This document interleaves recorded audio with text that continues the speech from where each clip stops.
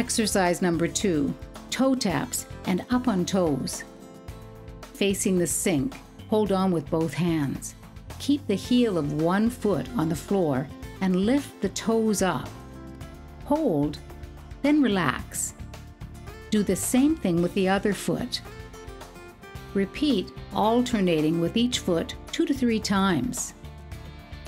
Next, go up on the toes of both feet. Do that two to three times. Too easy? Do more, up to 15 times. Lift the toes of both feet together without leaning back. Alternate with going up on toes. Hold on less to the sink and counter.